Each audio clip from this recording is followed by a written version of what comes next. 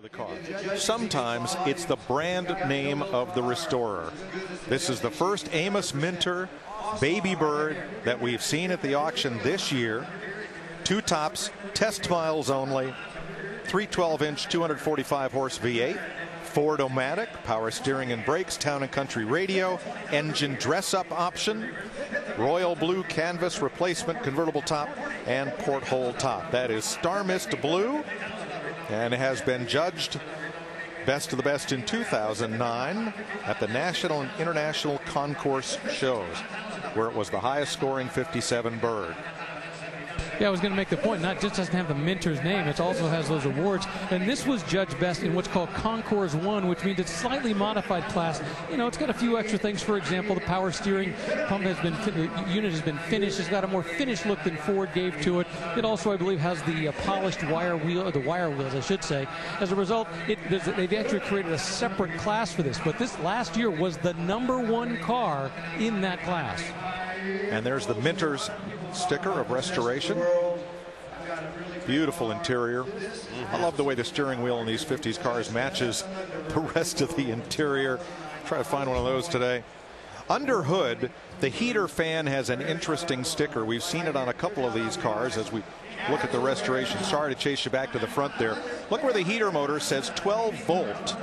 That is a warning to the dealership mechanics because prior to this, all of these cars had 6 volt electrical systems, and those mechanics might not be looking uh, for a 12 volt unit. And of course, we've seen a, a several E code birds with dual quads. Well, this is a D code, single four barrel, but all the same, the quality of the restoration brings the value of this one so far right up there with the dual quad cars. This is beautiful. We're back up to 100 grand. And no surprise.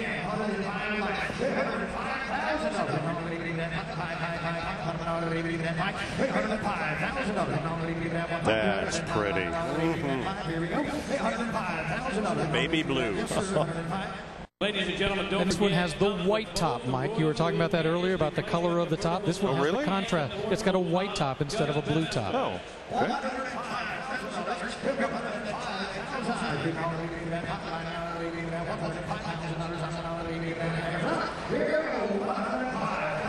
Amy has her fist up, so she has the lead bidder. And the new owner of that beautiful 57 baby bird.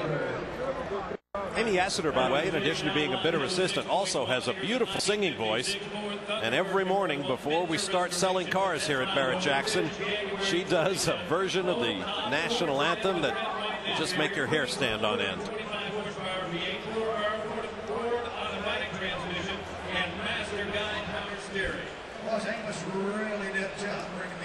You like Amos Minter's Thunderbirds? Stick around. And you won't have to wait long.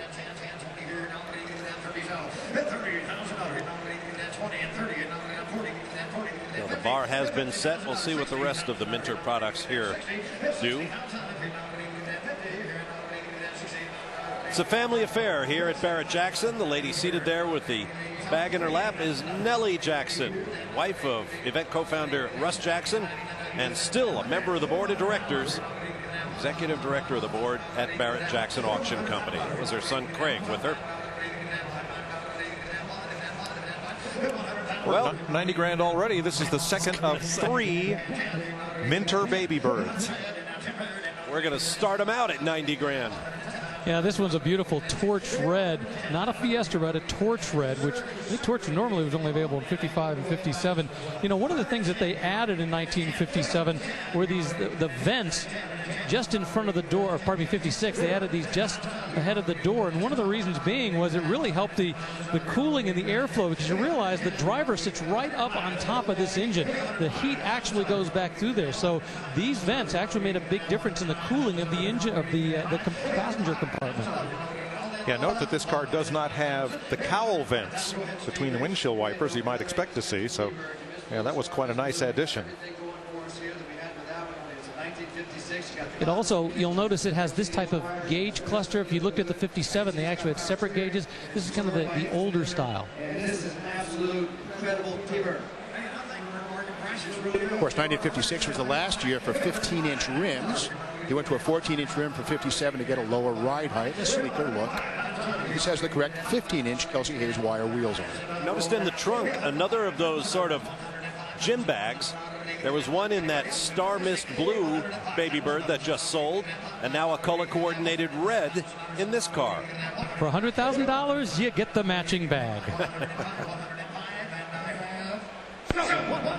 Another 100,000.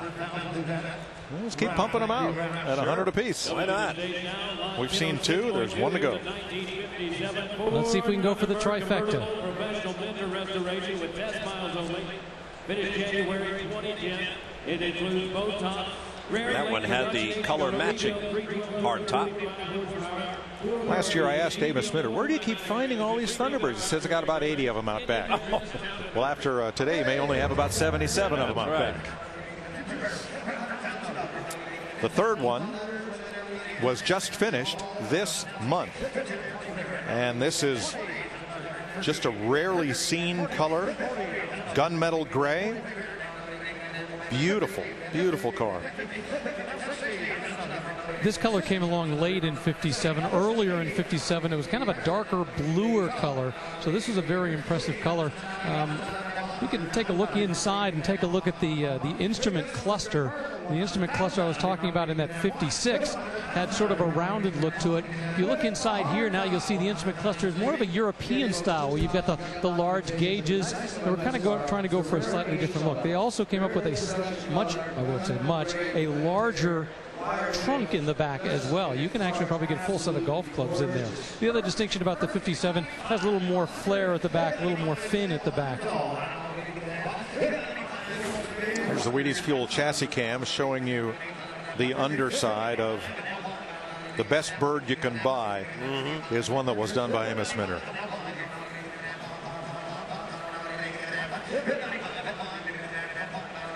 And I like this color too. And this one has the top that comes in the same color, no contrasting color.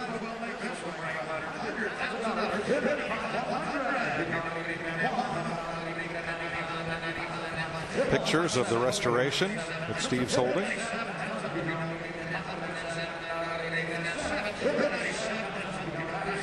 And that becomes increasingly important in this very competitive arena of collector car restoration.